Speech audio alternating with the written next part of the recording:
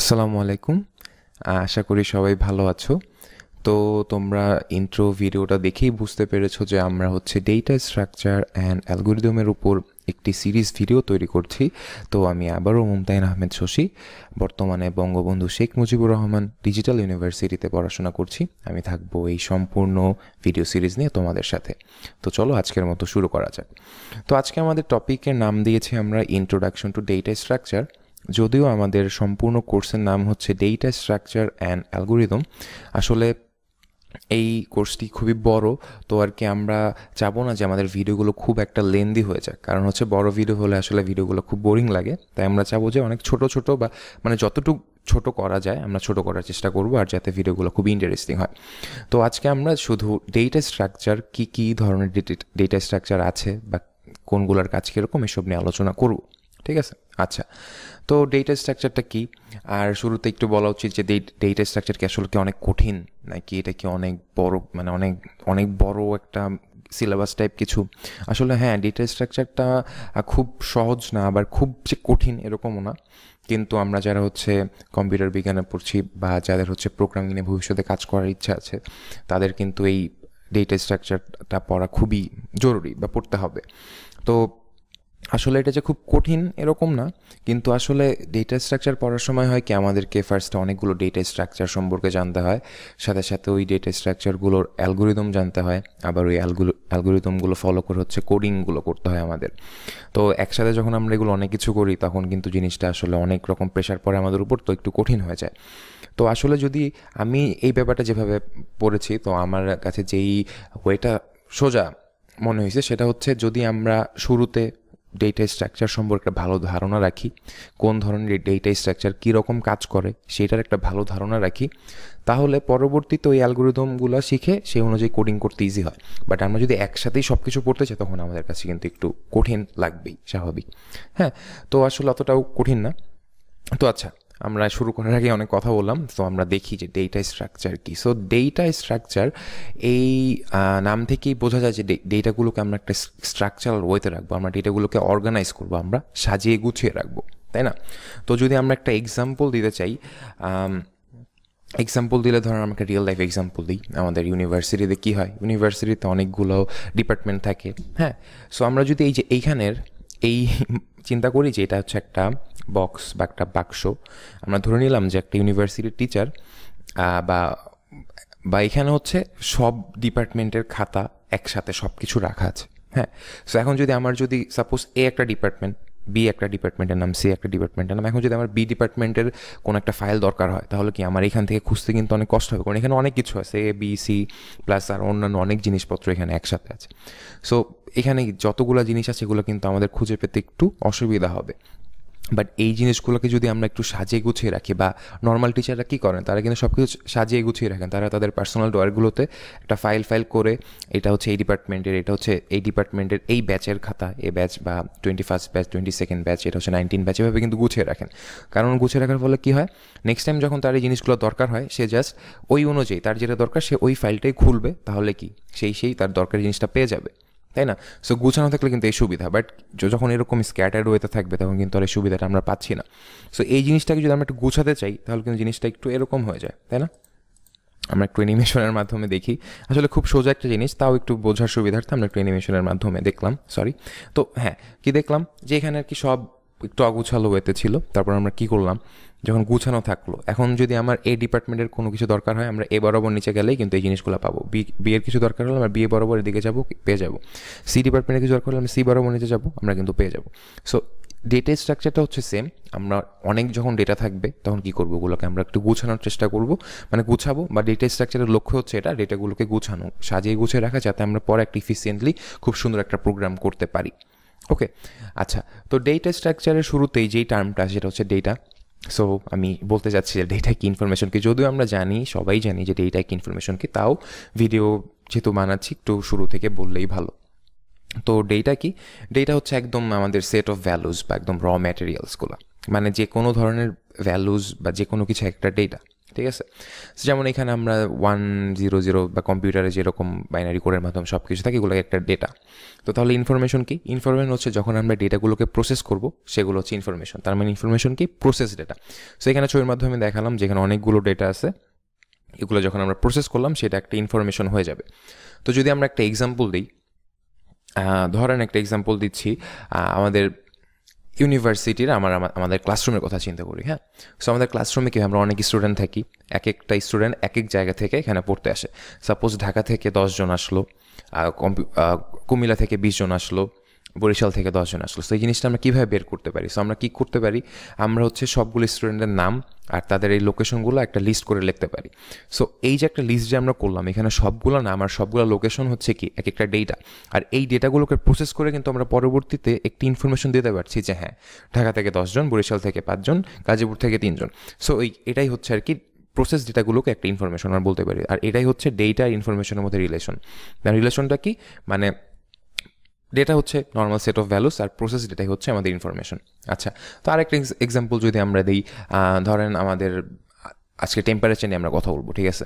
So আজকের temperature যত degree এভাবে যদি আমরা ওয়ান উইকের টেম্পারেচারটা যদি আমরা সব কিছু যদি মানে কাউন্ট করি, তারপর যদি আমরা প্রসেস করি মানে কি ওয়ান উইকের টেম্পারেচার আমরা হচ্ছে পুরোটা অ্যাড করব অ্যাড করে সেভেন দিয়ে ভাগ করব, আমরা হচ্ছে কি ওয়ান উইকের অ্যাভারেজ টেম্পারেচারটা পাবো। সো অ্যাভারেজ টেম্পারেচারটা কী হলো? আমাদের একটা প্রসেস ডেটা হয়ে গেল, ওটা একটা ইনফরমেশন হয়ে গেল যে হ্যাঁ এই সপ্তাহের আমাদের গড় তাপমাত্রা ছিল এত ডিগ্রি সো এরকম আর অনেক ইনফরমেশন দেওয়াই যাবে। তো, এই ছিল নর্মালি ডেটা ইনফরমেশন নিয়ে।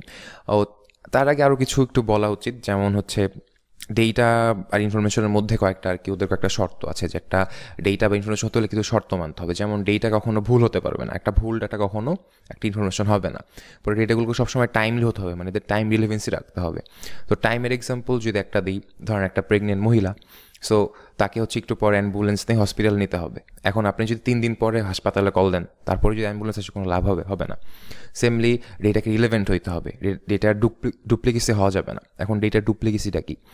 ডেটা ডুপ্লিকেসি হচ্ছে ধরেন আমাদের দেশে হচ্ছে পপুলেশন কাউন্ট হচ্ছে মানে আদমশুমারি হচ্ছে। এখন আপনি যখন এটা কাউন্ট হচ্ছিল আপনার ইউনিভার্সিটিতে পড়াশোনার সুবাদে, আপনি হচ্ছে চট্টগ্রামে বাট আপনার বাসা হচ্ছে গাজীপুর। সো যখন কাউন্ট হবে, আপনার বাসায়ও কিন্তু কাউন্ট করার লোক আসবে। সো তারা কাউন্ট করবে, আপনার ফ্যামিলি মেম্বার্স কিন্তু আপনার ইনফরমেশনও দিবে। আবার চট্টগ্রামে আপনাকে কাউন্ট করা হবে। সো তার মানে কি? আপনাকে কি দুইবার কাউন্ট করা হবে? একটা তাহলে কি আপনাকে ডুপ্লিকেট ডেটা হয়ে গেল না? কিন্তু এটা কিন্তু হয় না। কেন হয় না? কারণ ওই ডেটাগুলোকে আবার প্রসেস করা হয়। তখন সব ইনফরমেশন মিলে যে কোনগুলো ডুপ্লিকেট ছিল, এগুলো আবার সুন্দর করে প্রসেস করে বাদ দেওয়া হয়। তারপরে কিন্তু আমরা এক্স্যাক্ট ইনফরমেশনটা পাই। সেরকম কয়েকটা আর কি বেসিক কন্ডিশন থাকে ডেটা ইনফরমেশনের মধ্যে, এগুলো আমরা ছোটোকাল থেকেই জানি বা আমরা এগুলো আগেই পড়ে আসছি। তাও জাস্ট বলার জন্য একটু বলা। আচ্ছা।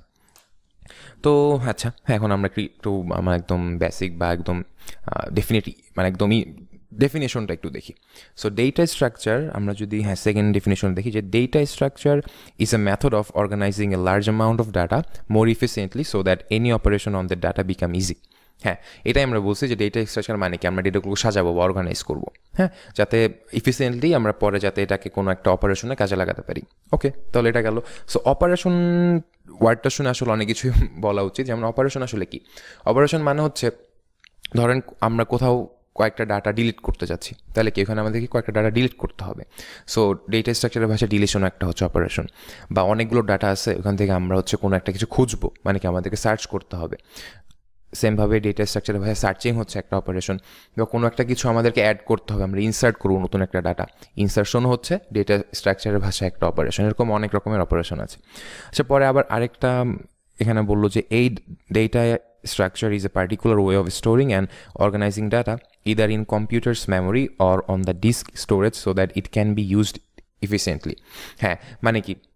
সেম কথাটা বাট এখানে আবার বলছে যে মানে কি? মানে স্টোর করবে কম্পিউটার মেমোরিতে হ্যাঁ তো এইটার কথা শুনলে আমরা ইজিলি অ্যারের কথা বলতে পারি অ্যারেতে আমরা কী করি?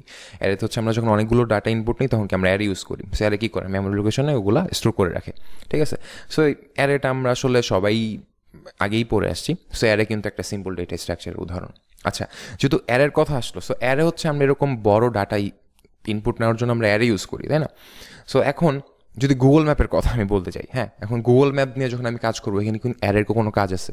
অবশ্যই নাই। সো এটা কিন্তু আমাদের বুঝতে হবে যে হ্যাঁ কোন ডেটা স্ট্রাকচারের কাজ কি বা কোনটা আমরা কোথায় ইউজ করব? কারণ হচ্ছে, এখন গুগল ম্যাপে যদি আমি অ্যারে ইউজ করি, কোনো দরকার নাই। সো গুগল ম্যাপ আমরা কি ইউজ করব? আচ্ছা এখানে আমরা একটু পরে আসি।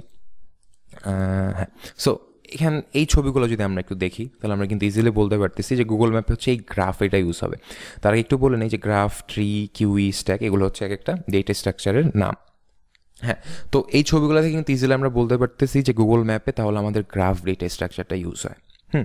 তো এরকম আরও একটা ডেটা স্ট্রাকচার আছে, যেমন এই যে হ্যাঁ array linked list stack queue tree হ্যাঁ তো এগুলা কি, এগুলো আমরা সব ইন ডিটেলস দেখব। তো যেহেতু আজকে আমাদের ইন্ট্রোডাকশন আমরা একটু করে যদি একটু বোঝার চেষ্টা করি হ্যাঁ সো অ্যারেতে কী হয়? আমাদের কি মনে আছে? অ্যারেতে আমরা কী করি? আমরা হচ্ছে সিকোয়েন্সিয়ালি মেমোরি লোকেশন এক একটা করে ডাটা আমরা হচ্ছে রাখতে পারি, তাই না? মানে আমরা যদি অনেকগুলো ডাটা নেই, তাহলে কি? এগুলো সিকোয়েন্সিয়ালি মানে এটা একদম sequence zero one two three four এভাবে সিকোয়েন্সিয়ালি আমাদের এইসব জায়গায় হচ্ছে ডাটাগুলো স্টোর হবে একদম সিকোয়েন্সিয়ালি এটা হচ্ছে আমাদের অ্যারের কাজ। তাহলে লিঙ্ক লিস্টের কাজটা কি? আর এখানে দেখে কিন্তু বোঝা যাচ্ছে যে লিঙ্ক লিস্ট আর অ্যারে অনেকটা সেম বাট লিঙ্ক লিস্ট আবার এখানে একটা অ্যারো চিহ্ন। সো লিঙ্ক লিস্টের কাজটা হচ্ছে আমরা ইন্ডিয়ালিস্টগুলো পড়ব যে লিঙ্ক লিস্ট অ্যারের মধ্যে ডিফারেন্সকে কোনটা ইউজ করা ভালো বা কোনটার মধ্যে কী সুবিধা, যেগুলো আমরা সব পড়ব হ্যাঁ? তো আজকে জাস্ট আমরা একটু বুঝি। তো লিঙ্ক লিস্টের পার্থক্যটা হচ্ছে, লিঙ্ক লিস্টে এখানে আসলে দুইটা পার্ট থাকে। দুইটা পার্ট সো প্রথম পার্টে হচ্ছে, এই পার্টে হচ্ছে আমরা যে কোনো একটা ডেটা আমরা স্টোর করতে পারব। সাপোজ এখানে যদি ওয়ান এই ডেটাটা আমরা স্টোর করলাম। পরবর্তী এইখানে এই পার্টটা আসলে আমাদেরকে রিফার করে যে হ্যাঁ পরবর্তী ডেটাটা আসলে কোন মেমোরি লোকেশনে আছে? সাপোজ এখানে যদি দশ লেখা থাকে, তাহলে আমাদেরকে বুঝতে হবে এই যে এইখানে দশ নাম্বার লোকেশন আমাদের পরবর্তী ডেটা আছে। মানে এখন যদি এখানে যদি থাকে সাত, তাহলে আমাদেরকে বুঝতে হবে এই সাত নাম্বার ডেটাটার মেমোরি লোকেশন হচ্ছে টেন তার মানে হচ্ছে এটা ভ্যালুটা হচ্ছে টেন মানে মেমোরি লোকেশনটা হচ্ছে টেন আবার তার মানে এই যে, এই পার্টটাকে কী বলা হয়? এটাকে বলা হয় পয়েন্টার আর এখানে হচ্ছে মানে কি মেমোরি লোকেশন বা এখানে আমরা স্টোর করতে পারি ডাটাটা আর এই পার্টটাকে বলা হয় পয়েন্টার আবার এটা কিন্তু দশ আচ্ছা। সো এটা যদি দশ হয়, পরে যদি পরে এখানে যদি সাপোজ লেখা থাকল হচ্ছে থার্টিন তার মানে বুঝতে হবে, সাতের পরে পরবর্তী ডাটার মেমোরি লোকেশন হচ্ছে থার্টিন মানে তেরোতম লোকেশনে আমরা পরের ডাটা সাপোজ এখানে নয় আমরা এটা পেতে পারি হ্যাঁ। আর এখানে বলা একটা উচিত যে দশের পরে যেমন না যে সিরিয়ালি এখানে এগারো, পরে বারো এভাবে হতে এরকম কোনো ইয়ে নেই। এই পয়েন্টারের মাধ্যমে এটা জাস্ট বলে দেবে যে নেক্সট মেমোরি লোকেশনটা কোথায়। এরপর এগুলো আমরা ইন ডিটেলস ভবিষ্যতে পড়ব নো প্রবলেম আচ্ছা তারপর এই ফিগারগুলো দেখলে আসলে ইজিলি বোঝা যাবে এখানে যেমন queue stack tree graph so এগুলো নিয়ে যদি একটু বলি কিউই ফিগার দেখে বোঝা যাচ্ছে এখানে একটা রিয়ার পার্ট একটা ফ্রন্ট পার্ট থাকে। সো রিয়ার পার্ট মানে হচ্ছে মানে কি বিহাইন্ড মানে আর কি পিছনের পার্টটা বোঝানো হচ্ছে আর ফ্রন্ট মানে হচ্ছে সামনে। সো এটা হচ্ছে মানে এটা এটা বোঝানো যদি আমরা একটা এক্সাম্পল দিই। সবচেয়ে সুন্দর এক্সাম্পল রিলেট করতে পারতেছি আমি আসলে করোনা ভ্যাকসিনের এক্সাম্পলটা কারণ যখন করোনা ভ্যাকসিনের জন্য আমি যাই, আমি আসলে শুনতে পারছিলাম যেখানে অনেক ভিড় থাকে সো আমি সেই সকাল ছয়টার সময় চলে গেছিলাম ভ্যাকসিনের জন্য। সো সকাল ছয়টায় গিয়ে আসলে আমি দেখি যে হ্যাঁ খুব ভালো হয়েছে, কারণ আমার লাইন ধরতে গিয়ে সিরিয়াল অনেক আগে হয়েছে। তো কিউই ডাটা স্ট্রাকচার হচ্ছে ওই জিনিসটাই ফলো করে। মানে আপনি যত আগে আসবেন, আপনি তত আগে বের হতে পারবেন। কিউই থেকে সবসময় রিয়ার পার্টে হচ্ছে ইনসার্ট হবে, আর ফ্রন্ট পার্ট থেকেই সবসময় ডিলিশন হবে। এটার মানে এটা কি? মানে আপনি চিন্তা করেন, আপনি যদি ভ্যাকসিনে সবার আগে থাকেন, তাহলে কী করবেন? আপনি ভ্যাকসিনটা নিয়ে তাড়াতাড়ি বের হয়ে যাবেন, তাই না? আর যখন কোনো নতুন মানুষ লাইনে এসে অ্যাড হবে, সে কি? সবার পিছন দিয়ে এসে নতুনভাবে লাইনে অ্যাড হবে, তাই না? দ্যাট মিন্স যে সবার আগে আসবে, সে আগে সার্ভিস পেয়ে বের হয়ে যাবে, আর যে সবার পরে আসবে, সে কিন্তু সবার লাস্টেই এসে নতুন করে লাইনে দাঁড়াবে। বা আমরা যখন ভোট দেই, ভোট হয় যখন, তখন কী হয়? সিরিয়াল করি, যে ভোট দেয়, সে আস্তে করে আগে চলে যায়, আর যারা নতুন আছে, তারা পিছন দিয়ে আস্তে করে অ্যাড করে, তাই না? সো এটা হচ্ছে কিউই সো কিউই যে জিনিসটা ফলো করে, সেটাকে বলা হয় হচ্ছে এফআই এফও বা ফিফো বলতে পারেন এফ আই সরি এটা F F I F O so FIFO কি? ফিফো হচ্ছে ফার্স্ট ইন ফার্স্ট আউট মানে আপনি যদি আগে আসেন, তাহলে আপনি আগেই বের হতে পারবেন। ঠিক আছে?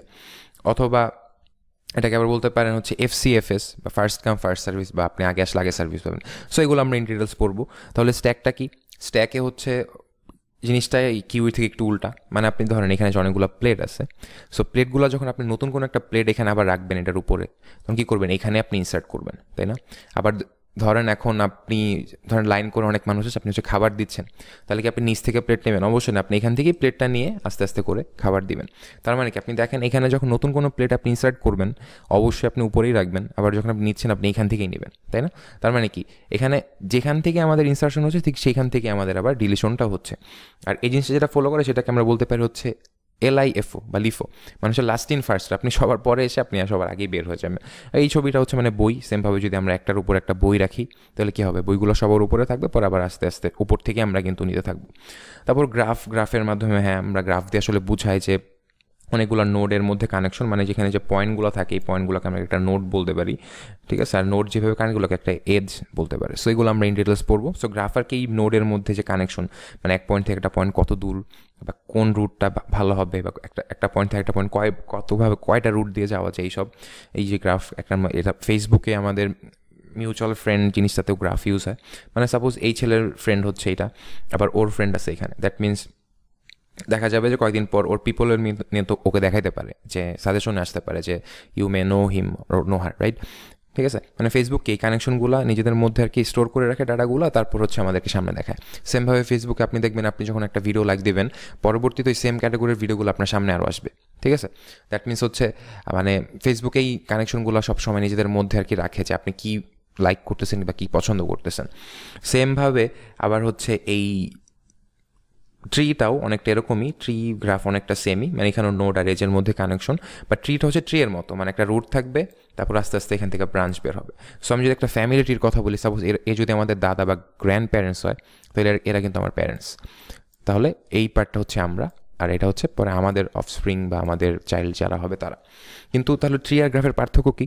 ট্রি হচ্ছে মানে আপনি এই যে রুটের পরে যে ব্রাঞ্চ এখানে আপনি কোনো লুপ ক্রিয়েট করতে পারবেন না।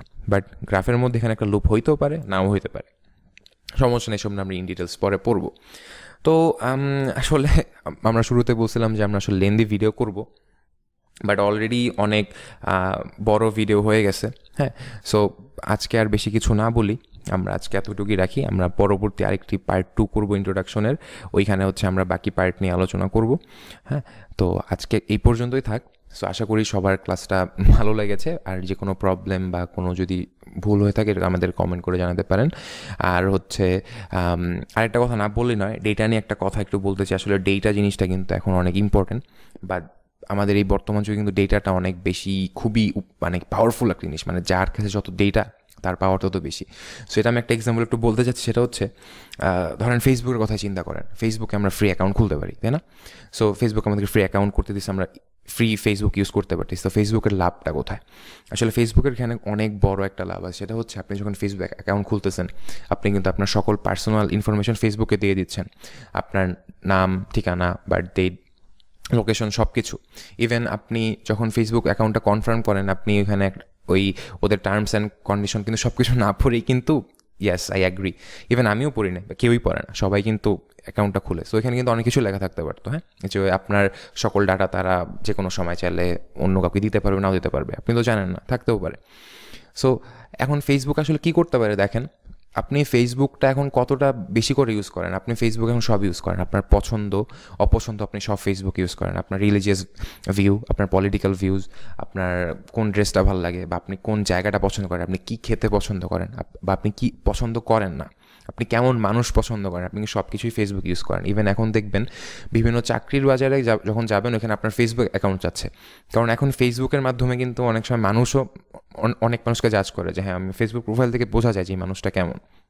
ঠিক আছে? তো ফেসবুক কী করতে পারে?